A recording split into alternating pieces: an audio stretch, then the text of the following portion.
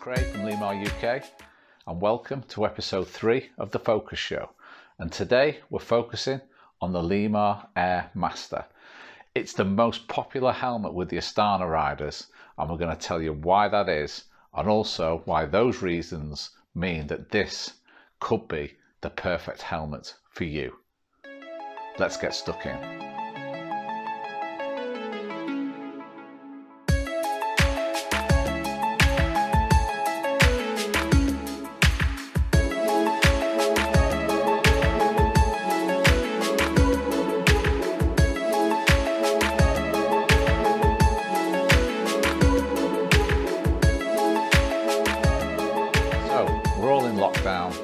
All the bike shows have been cancelled. You can't come to see our products. So the whole idea of these Limar focus shows is that we bring our products to you. And as mentioned in the intro, today we're focusing on the Limar Air Master. So the Limar Air Master is the most popular helmet with the Astana riders. Now the real reasons for that we'll get into a little bit later, but what we need to do first is just explain as to how the Limar Air Revolution range came into being. So if you've already seen this on some of the previous episodes, and you know, bear with us, but we do need to explain just in case others haven't seen it. So Limar go back into the Pro Peloton in 2017. At that point, Limar were concentrating on lightweight helmets. Lightweight was the strategy of the company, and we were making the lightest helmet range in the world. We still do, and the lightest helmet in the world, which is the Ultralight Plus. The Ultralight Plus is still the lightest helmet in the world, and Astana wore that for the first year of the sponsorship. Now, at the end of that first year, Astana said that they would like to go down a more aerodynamic route because a lot of the rival teams had started to do that. So a design collaboration started between Limar and Astana to basically make the fastest aero helmet they could and that was through wind tunnel testing at the F1 facility in Magny-Cours in France and through CFD computer software and then real-time testing with the actual Astana riders as well. So as that design collaboration started and started to widen out, that eventually turned into bringing out a range of four helmets, all designed around fully functioning aerodynamics, but each helmet was specialized in certain weather conditions and for certain races. So that had never been done before.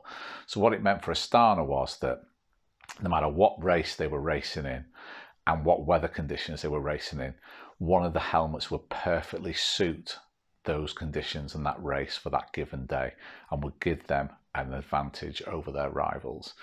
For you, the customer, it means that depending on what type of riding that you do, one of these helmets is going to perfectly suit that style of riding. So when you design an aerodynamic helmet, one of the biggest challenges is to get the aerodynamics working incredibly well so it's really slippery and fast. That's the reason why you wear an aero style helmet. But also get the ventilation to work well enough to keep you cool in hot conditions. So with the Airmaster, that was the design brief with this. Let's make a really aerodynamic helmet, but also gets that balance with fantastic ventilation so you can use it on the hottest of days. Now, in order to do that, it is, like I say, it's one of the most difficult things. Now, as you can see with the Airmaster, it is what you expect an aero style helmet to look like in the fact that it's got more covering than it has vents. So you can see the way that the helmet's been sculpted with these kind of channels on the top here. That's all designed to be extremely slippy and cut through the air when you go into a wind tunnel and it works incredibly well. The numbers on this helmet are very, very, very good. But then when you come to the ventilation, that's where it becomes a lot more difficult within the design process to get those two things to actually work perfectly well together. Now, the way that Limar achieved that is actually quite clever because they've used something called the Venturi effect. Now, as far as we know, the Venturi effect's not been used in helmet design before. Now, what the Venturi effect is, it's used in all manner of engineering uh, projects. Uh, and it's simply where air enters through a wide area and goes out of a smaller area. It naturally accelerates the airflow through that area. So if I bring the, the helmet up close here, you can see there, you can see with this vent here, how much wider it is at the entry point and how narrow it is actually at the exit point. And as I bring each vent round, you will see that with every single vent that's in the design of the helmet. So after we've done the wind tunnel testing and realised that the aerodynamic numbers were very, very good with this helmet, we then gave it to the Astana riders to actually go and do some real-time testing. And that was when we realised that we'd actually got the balance really, really spot on because they came back and said that the ventilation was absolutely fantastic for an aero helmet. And that is the reason why it's the most popular helmet with the Astana riders, because all year round, this is the one that they can wear the most. Now, only when you get the really super, super hot days on a mountain stage in a Grand Tour will you see the Astana riders switch to the Air Pro. Almost all of the time, apart from that, you will see them wearing the Air Master. So I think we can cut to some clips now and show some of the Astana riders wearing the Airmaster, including Jakob Fuglsang last year winning the classic Liège-Bastogne-Liège. Uh, Miguel Angel Lopez, the Grand Tour rider, has finished on the podium at the Giro d'Italia, Vuelta España, worn leaders jerseys. This is his favourite helmet. He wears this probably 70% of the year because it gives him both things that he really needs, which is that performance and the ventilation. So let's just have a quick look at some of those clips right now. Here with no bonus seconds up for grabs, every second counts, and he's going to have quite a few actually. Line hit now, and the clock starts. And the Spanish veteran hung on to take a first win at Tour de Suisse with Kasper Asgreen of Deceuninck Quickstep taking over Para los pedales Miguel Ángel, el Superman. Aquí viene el colombiano. Voltea desesperado. Sabe que puede sacarlos. Sí, el sí, cronómetro sí, es la clave, pero Dani Martin va por lo mismo. meters to go. No one denies this rider the victory. He deserves it. His season has been sparkling, and now he's bringing it home. Jakob Fuglsang wins Liège-Bastogne-Liège for Denmark, for Astana. Superb. So, some great clips there of the Astana riders having fantastic success wearing the Limar Airmaster. So what does this mean for you?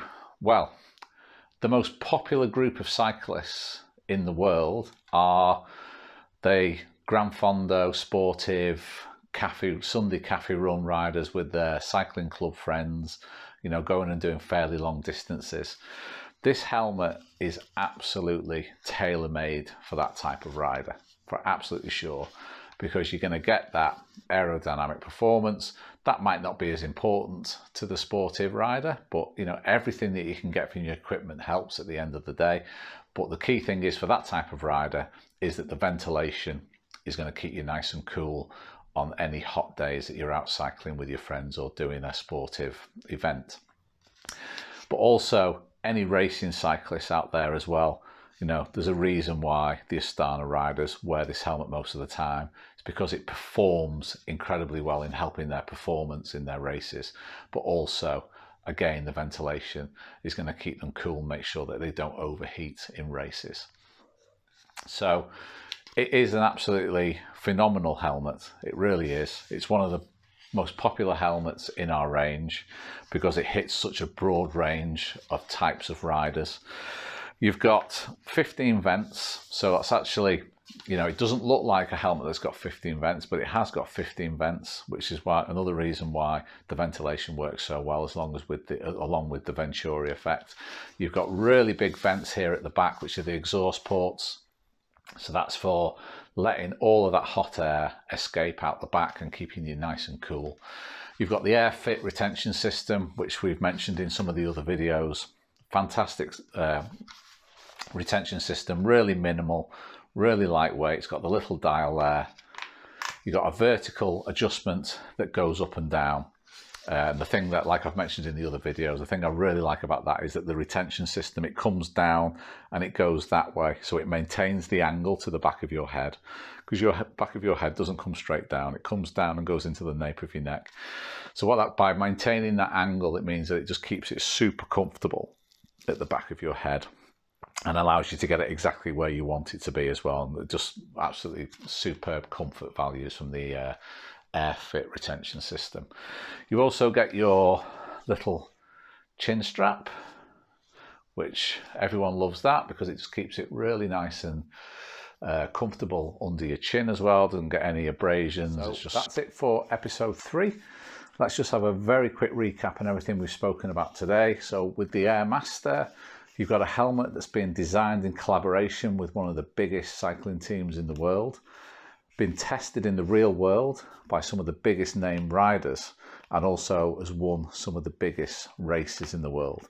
And the result of all of that design, collaboration and testing is a helmet that works incredibly well aerodynamically but also by utilizing the Venturi effect in the vent system means that you've got incredible ventilation to go along with those aerodynamics. The Venturi effect is something that's not been used in helmet design before, so it makes this helmet very, very unique.